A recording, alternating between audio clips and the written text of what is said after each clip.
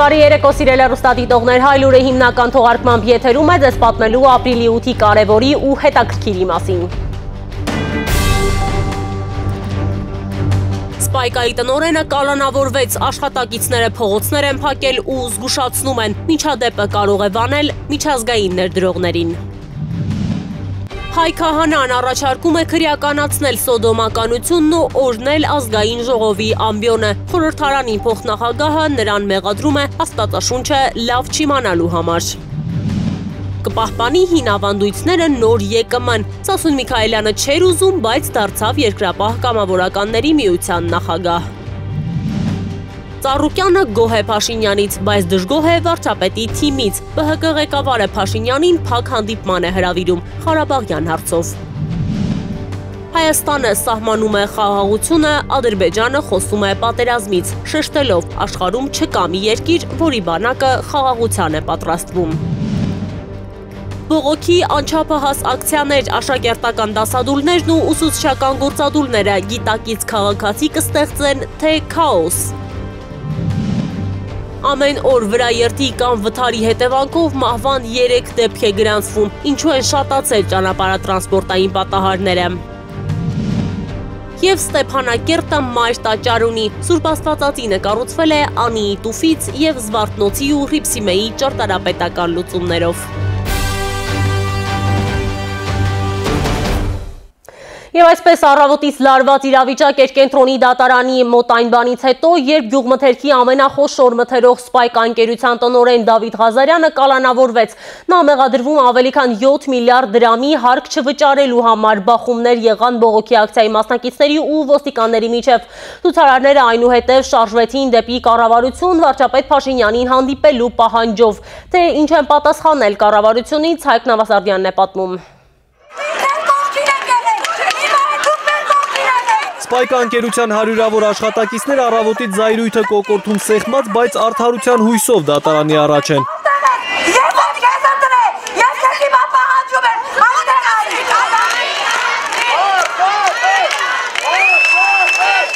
Տնորեն Դավիթ Ղազարյանին ապրիլի 4-ին մեղադրանքի առաջադրվել առանձնապես խոշոր չափով հարկեր, տուրքեր չվճարելու դեպքի կապակցությամբ։ Երևանի ընդհանուր իրավասության դատարանը որոշում է բավարարել պետք քնչական վարչության միջնորդությունն ու երկու ամսով կալանավորում Սպայկա ընկերության տնորեն Դավիթ Ղազարյանին։ Քիչ անց դատարանի որոշումը ժողովրդին է հասնում ու զայրույթը պայթում է դատարանի որոշման հրապարակման հետ։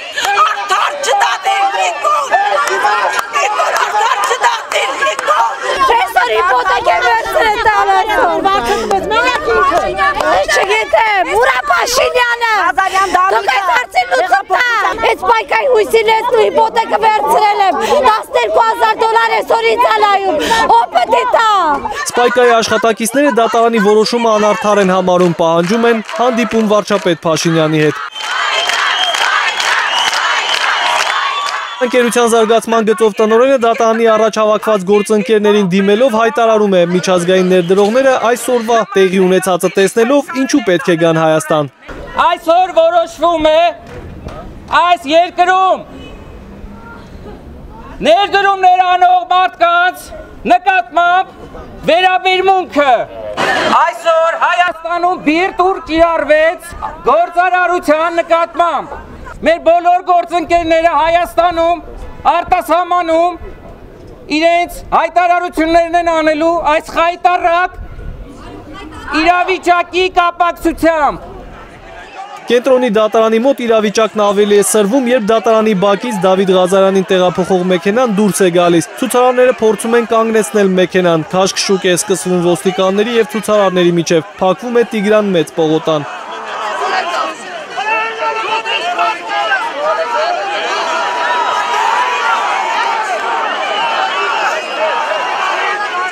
Տիգրանետ պողոտայում մոտ կես ժամ կատվածահարեր երթևեկությունը ոստիկանների նոր խմբեր են միանում եւ բացում են դեպի կալանավայր շարժող մեքենայի ճանապարհը։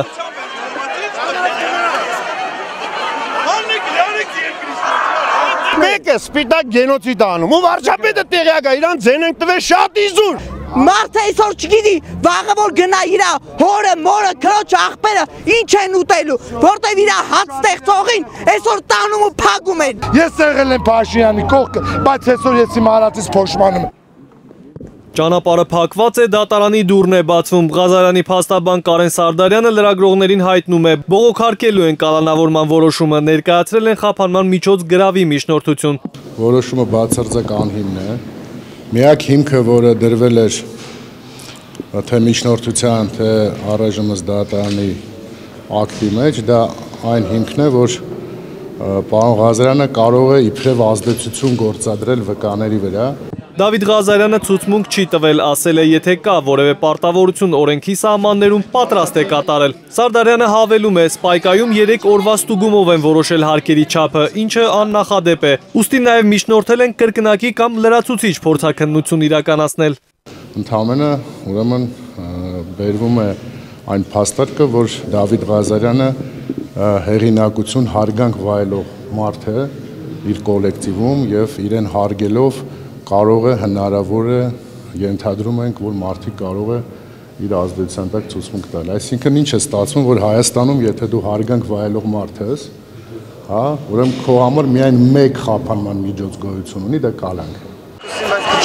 Քաղաքացիները վարչապետին հանդիպելու պահանջով շարժվում են կառավարություն։ Վարչապետին հանդիպել չի հաջողվում։ Օկնականը հայտնում է, որ Փաշինյանը չի պատրաստում միջնորդել Ղազարյանի կալանքի հարցով։ Մեզ կներեք, դուք մեր երկրի ղեկավարն եք, մենք ձեզ հավատում ենք, ինչ որոշումներ, որ դուք ընդունում եք, մենք հավատում ենք այս երկրի համար եք ընդունում։ Մենք ձեզ ողջունում ենք եւ խնդրում ենք այդ ինչիների պատասխանները փնտրեք Տնօրինությունը որոշում է ժամանակավոր դադարեցնել բողոքի ակցիան։ Համաձայն չենք, բայց ինչ արած։ Չենք, բայց եթե գործն է տա պահանջում, Մայրուղին կփակենք, նստածուց կանենք, հացադուլ կանենք, գործադուլ կանենք, համարենք կանենք, ամեն ինչ կանենք Դավիթ Ղազարյանին ազատելու համար։ Ինչի որ գնում ենք ու վերջ, կորոշենք նորից որոշում կկայացնենք Հայկ Նավասարդյան, Լարա Արաքելյան, Արման Թոմասյան, Հայլուր։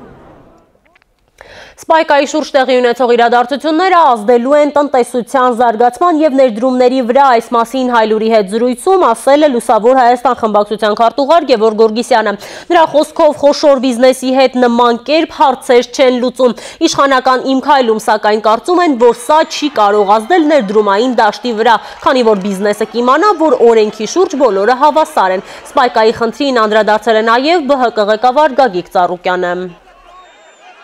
օրենքի առաջ բոլորը հավասար են, դա պետք է դիապա մարմինները դա ապացուցեն, բայց այդ ընթացքում պետք է այդպիսի դադարեցնել, ասենք թե արտանումը, որտեղ դա մեծ վնաս կկրի, պետք է ճիշտ քննարկել, նայել, համապատասխան, որ եթե մարդը մեղավոր է պետք է պատասխան տա, բայց առանց ապացուցելու, առանց բանը իրավունք չունեն հարկվեճավորների համար դա դրական ազդեցություն կունենա, երբ որ իմանան, որ չկա մարդիկ, որոնք ունեն հովանավորություն եւ իրենք կարող են նույն խաղի պայմաններով աշխատեն, նրանք կգան եւ ներդրումներ կանեն։ Ես հիշում եմ այդպես դիմակավորները մտան հենց նույն սպայկա, ինչ որ հետաքննություններ անելու, չգիտեմ ինչեր էին փնտրում, բայց դրանից հետո պարոն վարչապետը գնաց սպայկայի հետ համատեղ պանրի գործարան բացելու Սա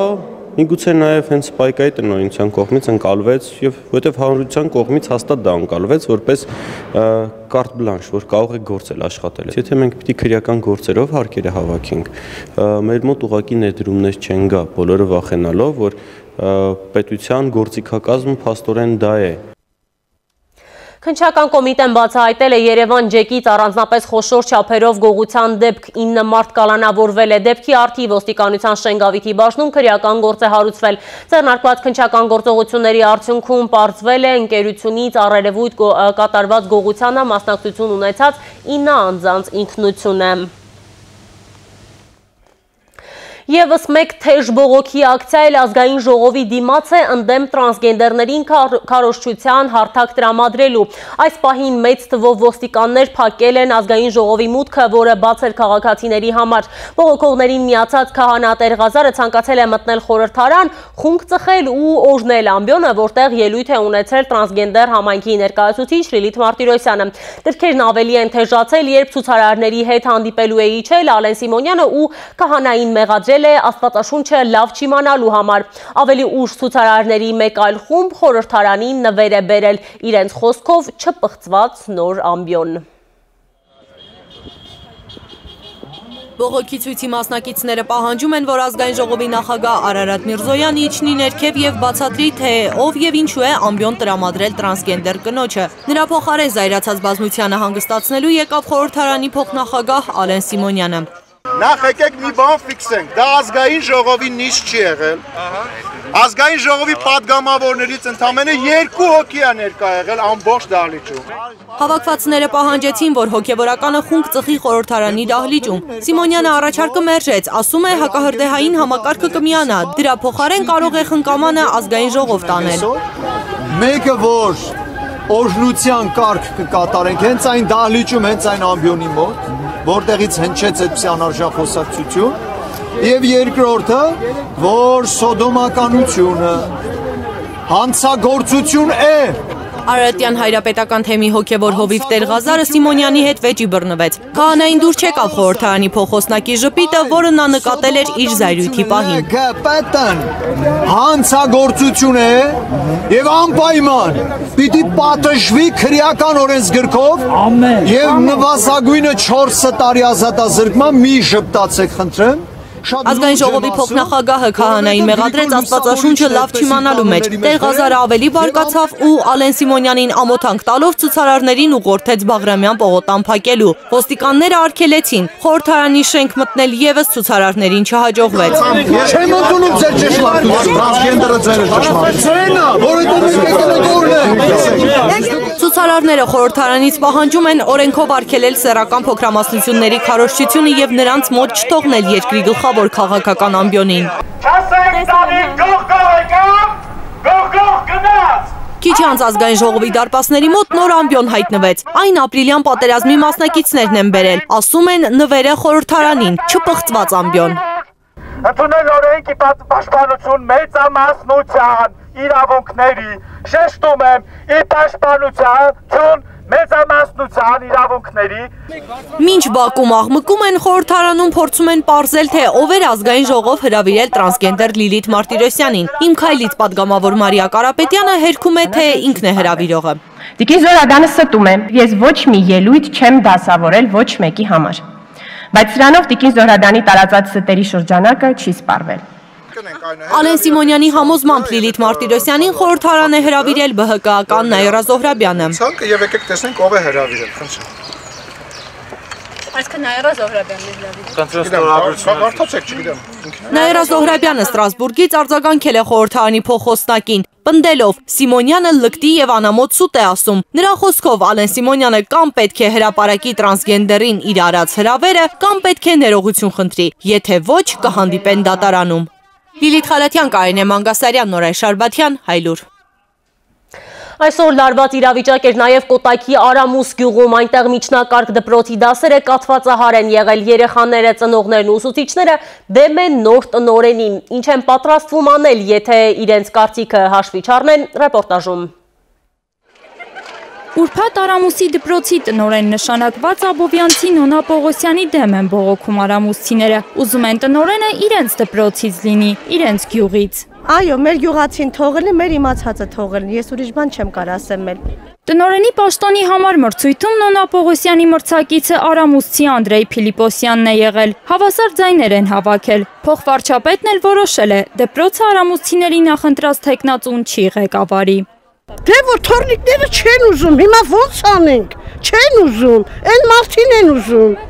Պիլիպոսյանը պետք է տնորենը։ Պիլիպոսյան։ Վերջ։ Այսօր առավոտյան միայն 3 դաս են արել, հետո ծնողները եկել տարել են երեխաներին։ Նորանշանակ տնորենը ուսուցիչների հետ փորձում է համոզել ծնողներին աշակերտներին դաստարան վերադարձնել։ Ասում է կստացվի, միայն թե հրահրողներ չլինեն։ Ես հակված եմ մտածելու, որ այս ամենի հրահրողը պարտվող կողմն է։ Պարտվող կողմի Փիլիպոսյանի հետ Պողոսյանը հանդիպել է։ Զրույցը լավ է ընթացել, բայց դրան հաջորդած զարգացումները լավ չստացվեցին տարատեսակ գախնի էջերից բաներ են գալիս, որոնք փաստում են այդ մասին։ Ինձ ուղարկում են ինչ-որ բաներ, որ կազմակերպվում է դա, հրահրվում է դա։ Որևէ մեկը կասի, որ դուք եք, ես դա զրպարտություն կհամարեմ, եթե պետք լինի, մինչև անգամ պատիվ կպահանջեմ։ Ես իմ տարիների անցած ուղին 40 եւ ավելի։ Ես անցել եմ մաքուր, པարզ, Տնորենն ասում է ուսուցիչներն իր թիկունքին կանգնած են։ Նկարահանման պահին ուսուցիչները երեխաների կողքին էին։ Ասում են այնտեղ են, ուր երեխաներն են։ Մեր ծնողները մեզնից պարտադրում են, իրենք ուզում են իրենց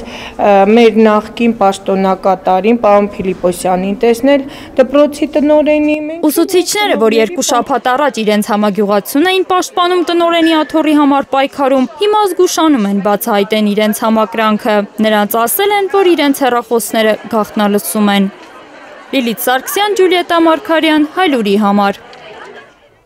Վանաձորի թիվ 20 դպրոցում եւս շարունակվում է դասադուլը աշակերտների մի մասը պահանջում է չեղյալ հայտարարել կառավարության որոշումը, որով փոխվարչապետ Տիգրան Ավինյանը դպրոցի տնորենի ընտրության երկու փուլից հետո տնորեն էր նշանակել Լոռու մարզպետ Անդրեյ Ղուկասյանի դասընկերուհուն։ Ուզում են այդ պաշտոնում տեսնել փոխտնորեն Մարիետա Հարությունյանին։ Դպրոցի ուսուցիչներն էլ ստորագրահավաք են սկսել չեն ուսում որպես տնորեն համագործակցել Մարիետա Հարությունյանի հետ։ Հարությունյանը կատվածահար է անում ուսուցիչ ուսուցումը դասադուլներ կազմակերպելով, ասում են ուսուցիչները։ Նրանց խոսքով դասադուլ կազմակերպող երեխաները սպառնում են դպրոցի այն աշակերտներին, ովքեր չեն մասնակցում դրանց։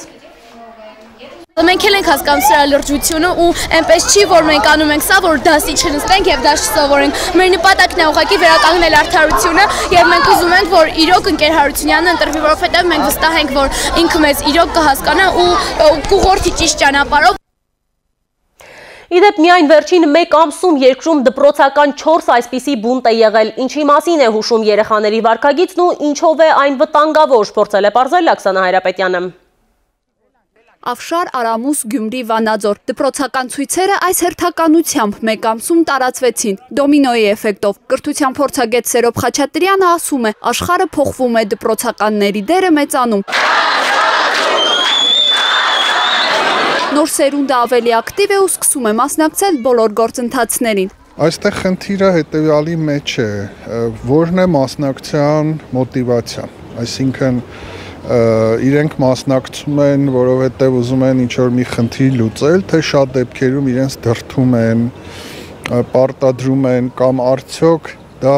աշակերտի խնդիրն է։ Դպրոցում երեխաների առաջին խնդիրը սովորելն է, իսկ այն թե տնորենի ով լինել չլինելու հարցը աշակերտի խնդիրն է, թե ոչ, հակասական պատասխաններ է ստանում։ Ժամանակներն այնպես են, որ հասկանում ենք դասադուլ է, հացադուլ է, չգիտեմ ինչ էլ դուլդուլներով հասնում են մարդիկ կամ չեն հասնում։ Եթե Արամուսի այս դպրոցում բողոքով դեռ ոչ մի տեղ չեն հասել, ավշարում գոռոցները տեղ հասան։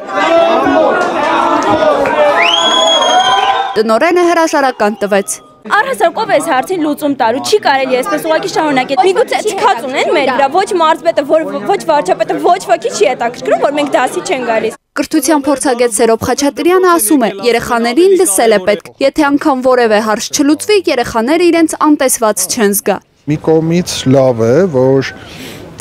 մարդիկ պայքարում են, հատկապես ուսուցիչները, բայց մյուս կողմից ասենք մենք պետք է շատ այս process-ները նորմավորենք, որովհետև արդեն ամեն մանրուքի համար, ամեն անհամաձայնության համար դասա process ընդհատել, կրթության իրավունք խախտել եւ այլն, այս մտահոգիչ է շատ։ Հոգեբանները վստահ են այստեղ դպրոցի նկատմամբ ճիշտ վերաբերմունքի ձևավորման խնդիր կա։ Մեկ տարի առաջ այս օրերին երեխաները հանրապետության հրապարակում էին նախ դասերից խուսափելու համար։ Ավելի փոքր տարիքի ներգրավվածություն բնականաբար այստեղ նաև հոգեբանական վարակը կա, այստեղ այդ հույզերով առաջնորդվելը կա երեխաներին հետաքրքիր է ամեն նոր բան։ Միայն այն, որ օրինակ այսօր գնալու ենք եւ դաս չենք անելու, ինչ որ խաղ է վերածվում իրենց մոտ, բնականաբար դա այդ պահին երեխան չի գիտակցում։ Բողոքող աշակերտները կարող են գիտակից քաղաքացիներ դառնալ, բայց շարունակական դասադուլները կարող են վերածվել չկառավարվող քաոսի։ Աքսանա Հայրապետյան, Հենրիկ Սարգսյան, Հայլուր։ Անցնենք այլ թեմաների վերջին երկու ամսում ճանապարհատրանսպորտային պատահարները շատացել են, այս մասին վկայում են ապա գործակալությունների տվյալները։ Վարորդների իրավունքների պաշտպանությամբ զբաղվող փաստաբանի կարծիքով վարորդները դարձել են անվերահսկելի, շատացել են երթևեկության կանոնները չիմացողները։ Իդեպ ըստ վիճակագրության ամենաշատ վթարները Երևանում ու Կոտայքում են լինում։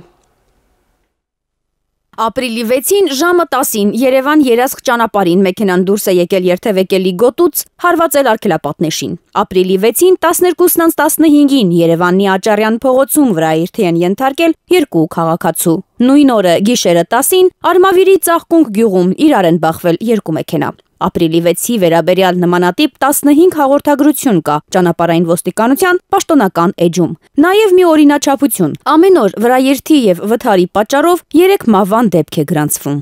Երևան քաղաքում ստաբիլ օրեկան 100 վթար լինում է։ Սա շատ է, թե քիչ։ Ավտոապահովագրողների բյուրոյում հիշում են հատուցումների պիկը 2017-ին էր, երբ 2016-ի 46000 դեպքի դիմաց 17-ին 60000 պատահարի համար գումար փոխանցեցին։ 2018-ին նախորդի համեմատ 7000-ով ավելացել է այս թիվը։ Այս տարվա առաջին 2 ամսին նախորդ տարվա 2 ամսվա համեմատ հատուցումը 22%-ով ավելացել է։ Որն է պատճառը։ Բայց ակնհայտ է նաև, որ պատարների հաճախականությունն է աճել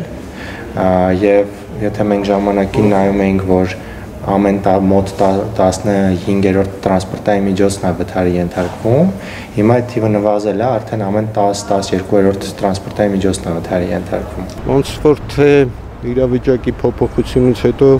ստաբիլ տեմպը պահպանվում է։ Իրավիճակ ասելով վարորդի պաշտպանը երկրում քաղաքական իրադրության փոփոխությունը նկատի ունի։ Դրանից հետո ասում է, նախ երթևեկելի գոտիներում վերահսկողությունը կտրուկ նվազեց։ Մի բա բացի թողի վիճակից էր գալի, հետո փորձեցին կարգավորեն, բայց դրանից հետո եկան այլ խնդիրներ, այլ խնդիրների վրա եկան այլ խնդիրներ, այլ խնդիրներ, վարորդների վարկագիծն է փոխվել, ավելի վստահ են խախտում անում։ Նախկինում անզեն աչքով կարելի էր հասկանալ, որ մեքենա վարողների 5%-ը չի տիրապետում երթևեկության կանոններին։ Հիմա նրանց թիվը ավելացել է, ասում է Խաչատուրովը։ Ընդ որում այս տարի եղանակը այնքան վտանգներ չառաջացրեց, ինչքան նախորդ տարիներին էր։ Նախկինում տաքսիներն էին վթարների հիմնական պատճառը։ Հիմա հետաքրքիր անամոթություն ասեմ, էլի ես չգիտեմ այդ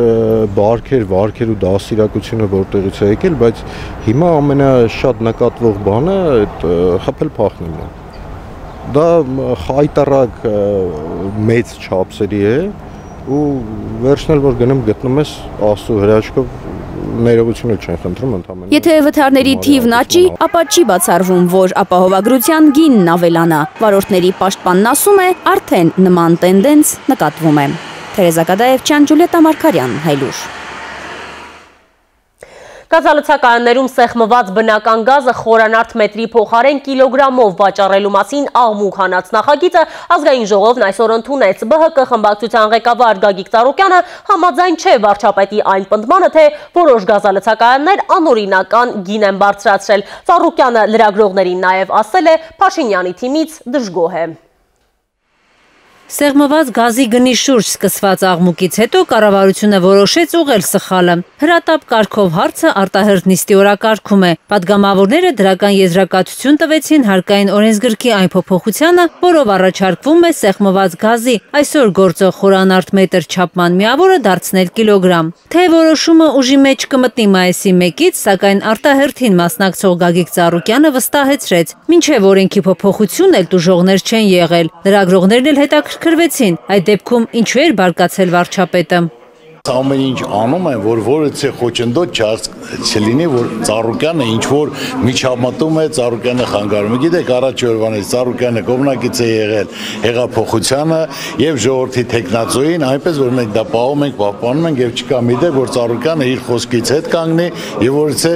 թաքուն քայլ կատարի, դա ինձ չի վերաբերում։ Իշխանապողությունից 1 տարի հետո Ծառուկյանը գոհ է Նիկոլ Փաշինյանից, դժգոհ նրա թիմից։ Տարբեր ոլորտներում ԲՀԿ ղեկավարի խոսքով մատից փուշանող պետք է լինի, բայց նա փորձառու մարդկանց պակաս է տեսնում։ Նիկոլ Փաշինյանը ասում է տնտեսական հեղափոխությունը սկսվել։ Դե սկսվել է, ուրեմն պետք է սպասենք արդյունքները, ես չեմ ասում չի։ Հիմա դրա համար պետք է մի քիչ արագ տեմպերով, որտեղ գնալով էլի ժողովուրդը հիմա գնում են։ Կոնկրետում աշխատանքից է դժգոհ Ծառուկյանը, անուններ նա չհրապարակեց, իսկ ԲՀԿ-ի համար մոտ կողմեր կան նաև Արցախի բանակցությունների ընթացքից Մեր համար մութ է, իհարկե տեսակ տարբեր, ասենք թե հայտարարություններ արեցին Ադրբեջան առանցին, մեր վարչապետ առանցին։ Փաշինյան Ալիև հանդիպման մանրամասներին ծանոթանալու համար Բարգավաճ Հայաստանը վարչապետ Փաշինյանին արդեն հրավեր ուղարկել է ազգային ժողովում փակ դռների հետևում իրենց ուզող հարցերը քննարկելու համար հրավիրելու ենք Արցախի մեր падգամորական ընկերներին, որ հարց ու պատասխանը մեր համար հասկանալին եւ մենք ձեզ կասենք։ Կարնե Մանգասարյան, Նորա Շարբաթյան, Հայլուր։ Ամերիկայի ձայնի հետ զրույցում աղմկահարույց հայտարարություն է արել վարչապետի տիկին Աննա Հակոբյանը նրա համոզմամբ Ղարաբաղյան հակամարտության ընթացքում հազարավոր զոհեր են ունեցել հանուն ոչնչի։ Նա մանրամասնել է կանայք հանուն խաղաղության նախաձեռնության նպատակները։ Աննա Հակոբյանի խոսքով իր նախաձեռնությամբ ինքը դիմում է ոչ միայն Ադրբեջանի կանանց, այլև Ղարաբաղյան հակամարտության մեջ ներգրավված բոլոր երկրներին։ Առաջին հերթին ամուսնուս գործունեության նկատմամբ դեռ նույնիսկ հայտնի չէ մեր նախաձեռնության այս նախաձեռնության միակ իմաստը զինվորների կյանքը պաշտպանելն է եւ նրանց նրանց ուղակի չզոհաբերելը հանուն ոչինչի, որովհետեւ հակամարտության պատմության այս տարիների ընթացքում բազմաթիվ զոհեր են ունեցել, երկու կողմից էլ հազարավոր զոհեր են ունեցել, բայց այդ մենք նրանց կյանքը զոհաբերել ենք հանուն ոչինչի, որովհետև ոչ մի կերպ, ոչ մի սանտիմետր անգամ այդ այդ զոհերը չեն մոտեցրել մեզ հակամարտության կարգավորմանը, եթե չասենք, որ ընդհակառակը հեռացրել են կարգավորումից, որը Իսկ Ադրբեջանի բանակը պատրաստ է ոչ թե խաղաղության, այլ պատերազմի անկեղծ ասել է Ադրբեջանի պաշտպանության նախարարության մամուլի խոսնակը պատասխանելով մեր պննախարար Դավիթ Տոնոյանին, ով ինչ է հասկանում խաղաղություն ասելիս Վարդան Օսեփյանի ռեպորտաժում։ Ադրբեջանը ռազմաքաղաքական ղեկավարությունը պետքա պատրաստի իր բանակին խաղաղության։ Ադրբեջանում կարծես ոչ ոք չի էլ մտածում խաղաղության մասին։ Հայաստանի պաշտպանության նախարարի կարճ ու բարի ցանկությանը Բաքվից պատասխանեցին երկար եւ ոչ այնքան բարի։ Ադրբեջանի պաշտպանության նախարարության մամուլի խոսնակը հայտարարել է. Ադրբեջանի բանակը խաղաղության մասին կմտածի միայն այսպես կոչված օկուպացված հողերը ազատագրելուց հետո։ Աշխարհում գոյություն չունի մի երկիր, որի բանակը խաղաղության նախապատրաստվի։ Բանակի խնդիրը ոչ թե խաղաղության, այլ պատերազմի պատրաստվելն է։ Ստեղծված իրավիճակում Ադրբեջանի բանակը պատրաստ է ոչ թե խաղաղության, այլ պատերազմի։ Եռաբլուրում իր կարճ հայտարարությունից մեկ օր անց Դավիթ Տոնոյանը Մեդիամաքսի հետ զրույցում մանրամասնեց պատերազմի եւ խաղաղության իր պատկերացումները։ Նախարարի խոսքով մեր հասարակությունում խաղաղության ընկալման խնդիրները միգուցե պայմանավորված են այն անկայուն անվտանգային միջավայրով, որում մենք ապրում ենք։ Սրան հակառակ պատերազմի ընկալումը ըստ Տոնոյանի շատ սուր է մեր երկրում եւ մարդիկ վտանգները շատ ռացիոնալ են գնահատում։ Տոնոյանը նաեւ պատմել է, որ բավարար տեղեկություններ ունի բանակցային գործընթացից, իսկ գիտելիքներն էլ իրեն թույլ են տալիս ճիշտ կազմակերպել աշխատանքը։ Ինչպես արդեն մի քանի անգամ ասել եմ, զինվորականների գլխավոր խնդիրն է նպաստավոր պայմաններ ապահովել երկրի քաղաքական ղեկավարության համար, որը բանակցություններ է վարում։ Գեներալ-մայոր Արկադի Տեր-Թադևոսյանը Թերթեյեմի հետ զրույցում կարծիք է հայտնել, որ հայկական արտաքին քաղաքականությունը կաղում է, ասում է, բացակայում է կապը բանակի եւ դիվանագիտության միջև։ Կոմանդոսը խորհուրդ է տալիս պաշտպանական ճակատը ամրացնելուն զուգահեռ աչքաթող չանել նաեւ մեր դիվանագիտությունը։ Վարդան Հովսեփյան, Հայլուր ԵԿՄ նոր նախագահի պաշտոնում իմ հայլը խմբակցության պատգամավոր Սասուն Միքայելյանի ընտրվելը միանշանակ չի ընկալվել հանրության ու արտախորհրդարանական ընդդիմության կողմից։ Կարծում են պատմությունը կարող է կրկնվել ու մարդիկ չեն մոռանալու, որ Սասուն Միքայելյանը խոստացել էր չդառնալ ԵԿՄ ղեկավար, բայց դրժեց խոստումը։ Նիկոլ Փաշինյանն էլ իր ներկայությամբ օրինականացրեց այդ որոշումը։ Վարչության որոշման ընտրության արդյունքներով միաձայն երկրապահ կամավորականների միության վարչության նախագահ ընտրվել Սասուն Մեխակի Միքայելյանը։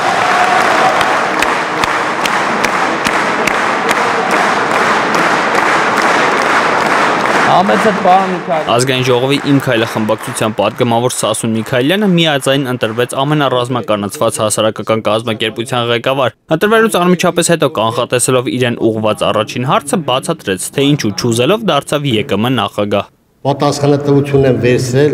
իմ ընկերների, իմ մարտական ընկերների մեծ թվականակով մասնակցած վերջի ժողովի ժամանակ, որ պահանջել են, պահանջել են, ասում եմ, եւ առաջարկել են տեխնատությունը։ Եվ ես ոչ մի բարոյական իրավունք չունեի մերժեի այդ անձանց իմ մարտական ընկերներին։ Նոր վարչության կազմում մի թիվս այլ երկրապահների ներգրաված են նաև Արամ Սարգսյանը, Անդրանիկ Քոչարյանը եւ Պաշտպանության նախկին նախարար Վաղարշակ Հարությունյանը։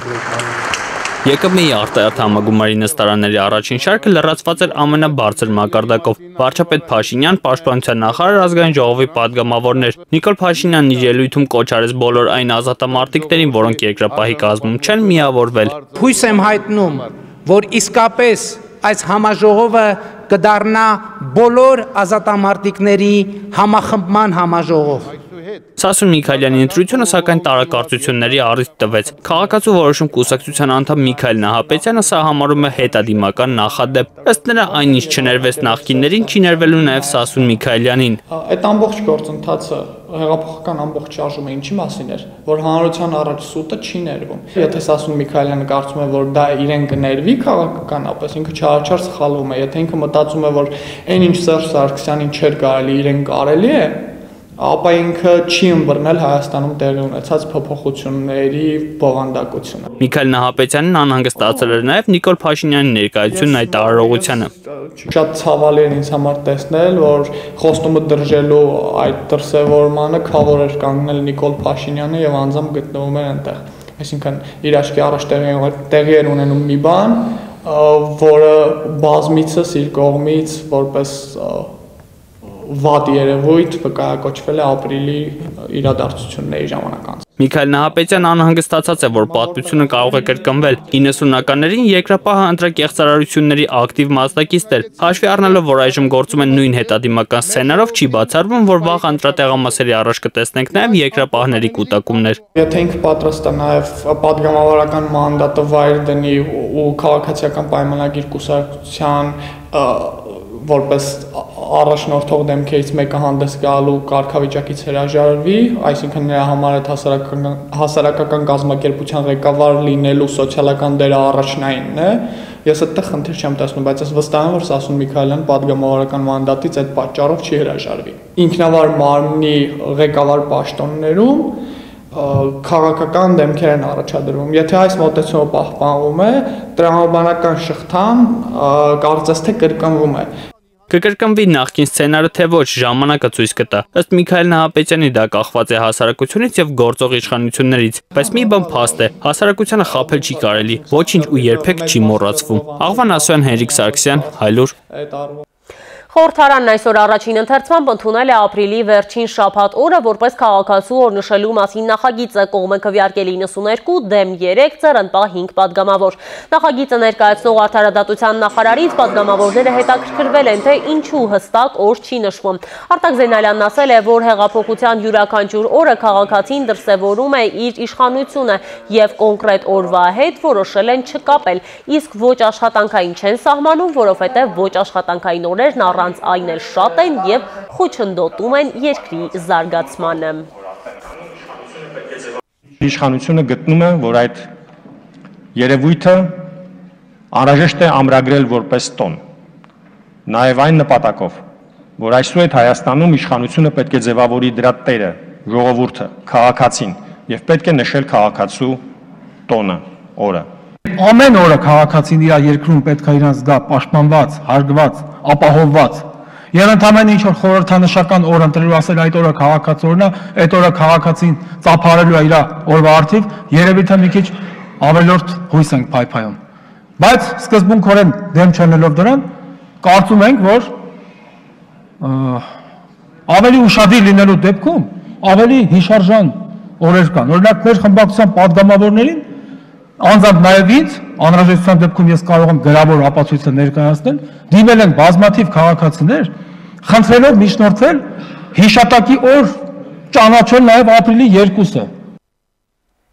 Շարունակենք թողարկումը վերջին 6 ամսում Հայաստանում գրանցվել է մարդու բրուցելոզի 90 դեպք 1 առողջություն կոալիցիայի ղեկավար Գրիգոր Գրիգորյանի խոսքով պատճառն այն է, որ Հայաստանը կենսաբանական պաշտպանվածության առումով շատ թույլ է։ Ըստ կոալիցիայի ղեկավարի այդ պաշտպանվածության առաջնագծում անասնապահներն են եւ անասնապահությունը պետք է պահել պետական անմիջական վերահսկողության տակ։ Ուսումնասիրությունների արդյունքներն էլ պետք է հանրությանը հասանելի լինեն, ինչը այդպես չէ։ Սննդի անվտանգության պաշտպանության ծառայությունն իր տարեկան հաշվետվության մեջ նշում է, որ կենթանիների շրջանում բրուցելոզի 700 հազարից ավելի փորձաքննություն է իրականացնել, սակայն այդպես էլ չի հրապարակում, թե դրանցից քանիսն են հաստատվել։ Մենք ունենք աֆրիկական ժանտախտի դեպքեր, որոնց մասին չի հայտարարվում։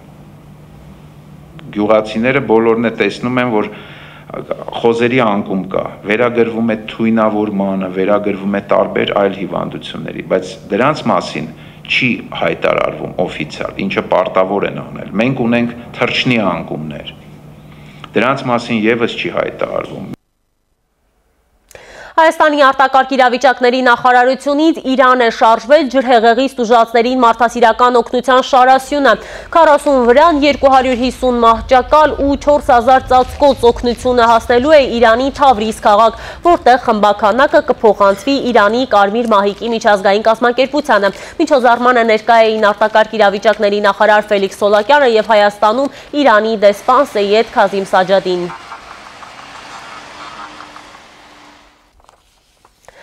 Օծվել է Ստեփանակերտի մայր տաճարը մոտ 10-ից ավելի տարի կառուցված Սուրբ Աստվածածին առաջնորդանից եկեղեցին օծվել է ապրիլի 7-ին Սուրբ Աստվածածնի ավետման տոնին ամենայն հայոց կաթողիկոսի ձեռամբ։ Արցախի Կիրակնորիա հոգևոր տոնի մանրամասները Ծովինար Բարխուդարյանի ռեպորտաժում։ Աստվածամոր ավետման տոնն Արցախում մեկ այլ խորհրդով բացվեց։ Քրիստոնյահային իր հավատի դիրքերում պահող եւս մեկ ամուր հենակետ կառուցվեց։ Ստեփանակերտի Աստվածամոր Սուրբ Հովանու տաճարը կառուցվեց քար առ քար համազգային ջանքերով, բացառապես բարեգործական միջոցներով, դառնալով մեր միասնականության խորհրդանիշներից մեկը։ Գեղեցիկ իր տեսքով, վեհաշուկ կառուցվածքով եւ հարուստ բովանդակությամբ։ Օրվա խորհուրդը մայրաքաղաքի մայր տաճար է բերել ոչ միայն Ստեփանակերտցիներին, աշխարհի տարբեր անկյուններից հայեր են եկել մասնակցելու Արցախի առաջնորդանիստի օծման ու բացման արարողությանը։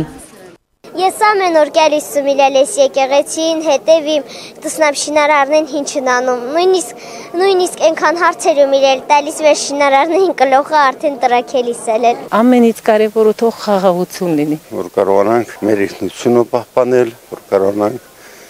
մեր երկիրը պահպանել։ Մենք մեր դիրքերն ենք ամուր պահում, եկեղեցին էլ հավատը։ Հույսով միշտ անապ երկինք կլինի Արցախի վրա, խաղաղություն լինի այս հողում, Արցախում, հատկապես երբ Երևանից ենք գալիս, մենք ունենում ենք վերադարձի զգացողություն։ Ժողովրդին կբախտեմ այն, ինչ Արցախում միշտ եղել է կա եւ կլինի, դա միասնականությունն է, դա տոկունությունն է։ Եկել էին նաև հայկական զույգ պետությունների բարձրաստիճան պաշտոնյաները Արցախի նախագահ Բակո Սահակյանի գլխավորությամբ։ Սովետական տարիներին Արցախը զրկված էր հոգևոր կյանքից, չնայած ամեն մեկի սրտում դա կար, բայց գործող եկեղեցիներ չկային, ճնշված էինք եւ այսօր ես ուզում եմ հավատալ, որ շատ խորհրդանշական օր է մեր կյանքում, ինչ որ մի նոր էջ է բացվել։ Եկեղեցու օղանջները այսուհետ ամեն Կիրակի իր դուրն են կանչելու բոլոր հավատավոր արցախցիներին մենք ունենալու ենք հաղթանակներ, մենք լինելու ենք երջանիկ, լինելու ենք ազգ, որը հայեցի է ապրում, ասինքն հայեցի Աստվածահաճո։ Ուրախ եմ, երջանիկ եմ Սա մեր հաղթանակներից մեկն է։ Բոլորի աչքը լույս, շնորհավորում եմ բոլորիդ։ Իմ Աստվածավորություն ավելի հզոր կլինի Արցախ աշխարհի հայց աշխարհի վրա։ Տաճարը օծեց եւ առաջին սուրբ պատարագը մատուցեց ամենայն հայոց կաթողիկոս Գարեգին II-ը։ Մայրաքաղաքի սրտում կառուցված եկեղեցին ամենամեծն է Արցախում եւ թեմի վերաբացումից հետո կառուցված ու վերակառուցված եկեղեցիներից 90-րդը։ 35 մետր բարձրությամբ, 3 մուտքով, 6 խորանով, անի տուֆից, վարտոս տաճարի և ռիպսիմե եկեղեցու ճարտարապետական լուծումների համադրությունը ճարտարապետ գագիկ Երանոսյանինն է։ Ստեփանակերտում մայր տաճար ունենալու գաղափարը Արցախի թեմի առաջնորդ Պարքև արքեպիսկոպոս Մարտիրոսյանինը։ Նվիրատուներից ամենաառատաձեռնը Վարդանյան ընտանիքն է։ Վեհապար հայրապետը Վարդանյան եղբայրներին Գրիգոր Լուսավորիչ շքանշան հանձնեց, նորաբաց եկեղեցուն սրբապատկեր նվիրեց եւ իր հայրապետական օրհնությունը բերեց Արցախի մայրերին ու քույրերին։ Աստվածամոր Սուրբ Հովանիով են որոշել իրենց ընտանիքը ստեղծել Մարիամն ու Արամը։ Եկեղեցում շատ-շատ հարցանիքներ Տարոս ու բոլորին։ Ծովինար Բարխուդարյան, Տիգրան Գասպարյան, Արցախ։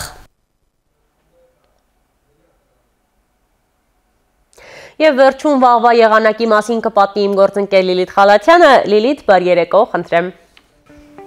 Բարի երեկո։ Վաղը հանրապետությունում տեղ-տեղ սպասվում է կարճատև անձրև եւ ամպրոպ։ Օդի ջերմաստիճանն աստիճանաբար կբարձրանա 8-ից 10 աստիճան։ Շիրակում սպասվում է փոփոխական անպամացություն, բայց առանց ստեղունների եղանակ։ Գիշերը կլինի 3, ցերեկը 16 աստիճան տաքություն։ Լորիում եւ Տավուշում սպասվում է ամպրոպ, տաք է լինելու 19-ից 22 աստիճան։ Գեղարքունիքում վաղը հնարավոր է անձրև, իսկ Արագածոտնում եւ Կոտայքում ցերեկը արևային եղանակ կլինի։ Ջերմաստիճանը կբարձրանա մինչև 16 աստիճան։ Արմավիրում եւ Արարատում տեղումներ չեն լինելու, ջերմաստիճանը կրկին կբարձրանա, գիշերը կլինի 8, ցերեկը 20 աստիճան տաքություն։ Վայոց ձորում հնարավոր է փոփոխական անպամացություն, այս գիշեր սպասվում է 8, ցերեկը 21 աստիճան տաքություն։ Իսկ ամենատակ մարզում Սյունիքում վաղը տեղումներ կլինեն անձրևի տեսքով։ Ջերմաստիճանը կբարձրանա մինչև 22 աստիճան։ Տեղափոխվենք Արցախ, որտեղ սպասվում է ամպրոպ եւ անձրև, գիշերը տաք կլինի 8, ցերեկը 21 աստիճան։ Իսկ մայրաքաղաքում վաղը սպասվում է առանց ստեղումների եղանակ, ջերմաստիճանը կբարձրանա 1 աստիճան։ Այս գիշեր կլինի 7, վաղը ցերեկը 20 աստիճան տաքություն։ Ապրիլի 9-ի սպասվող եղանակն այսպիսին է առայժմ։